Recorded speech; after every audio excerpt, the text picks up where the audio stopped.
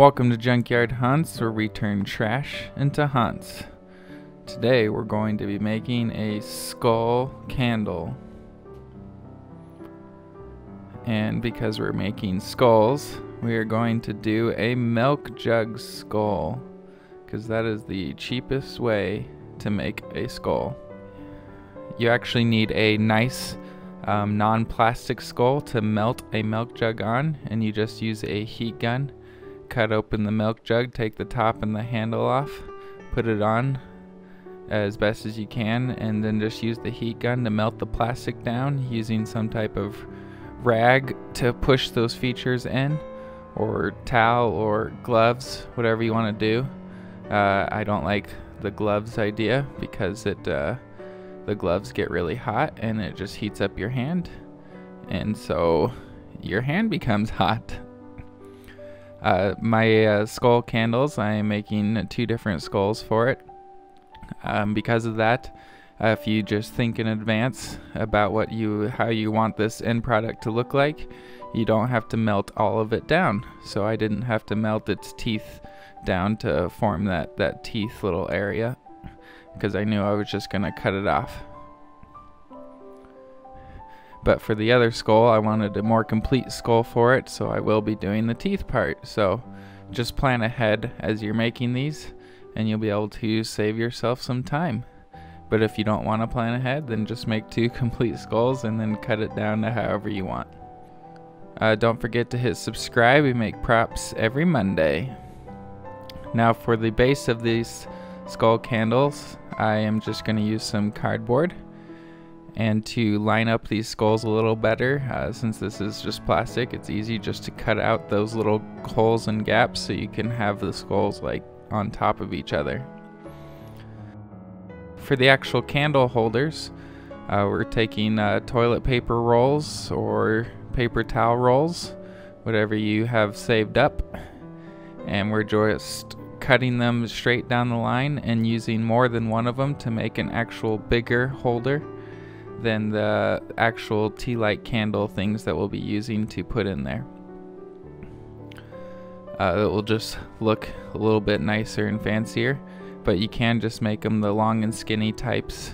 I do have one long skinny type on here uh, where I don't actually cut the paper towel paper towel holder apart so that it just stays its normal skinny size, which is a good size uh, for the the tea light candles that I'm actually putting in there.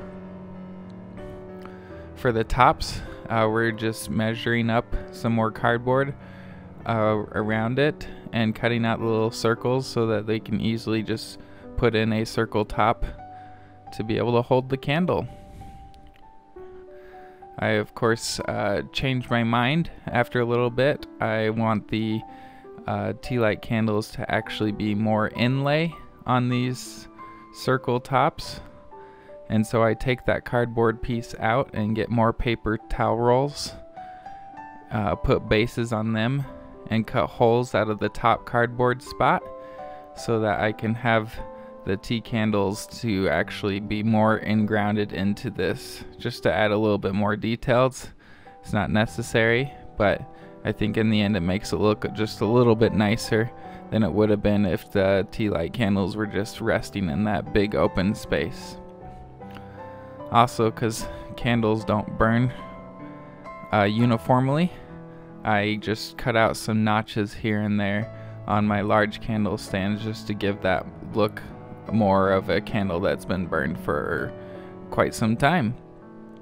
Because that's what we're going for, is old stuff.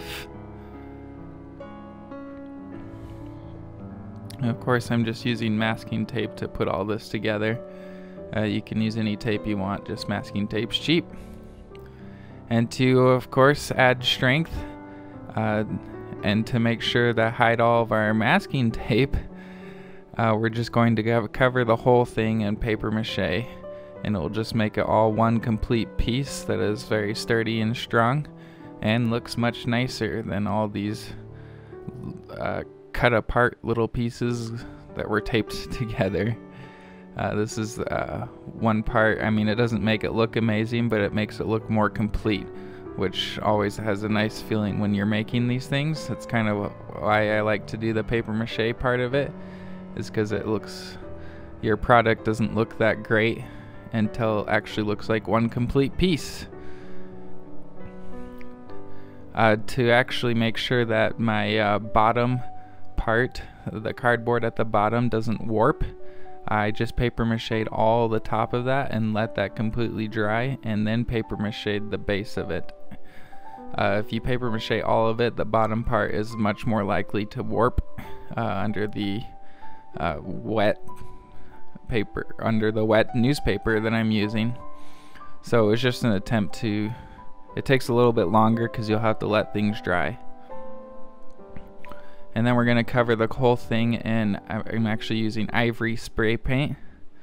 I figured ivory would be a better color than white for candles.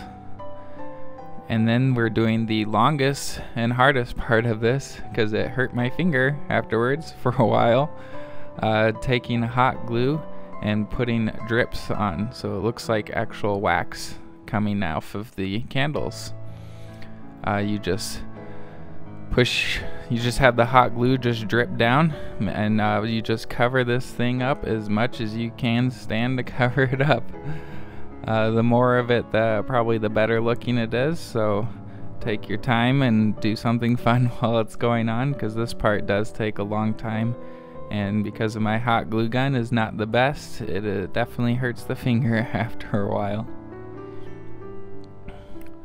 uh, pay more attention to the actual candle parts, but cover up everything, even the skull. So it seems like maybe different candles have been placed on these skulls over the years.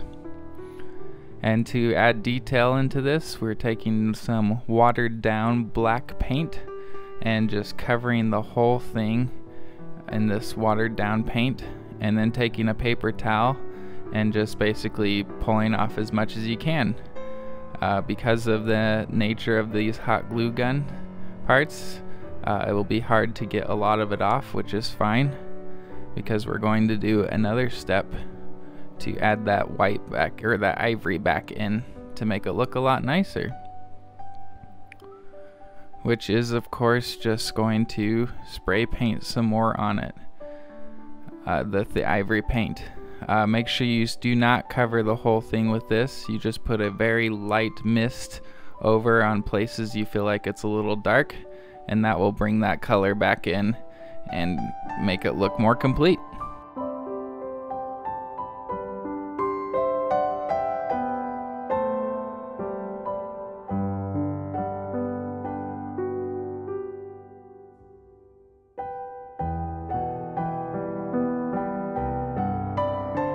Thanks for watching that video. Don't forget to hit subscribe. make videos every Monday. Super bright candles over here. You can totally tell that they are on. I just have a lot of lights on. It's hard to see it when they're on. But if you put it in a scary situation, usually it's dim lit. Or I suggest getting more powerful lights. I guess we can do the old turn off the lights. Oh man, look at that. Filming in a brightly lit window behind us. Makes those turn out so bright. Oh yeah. My fake candle just burnt my hand.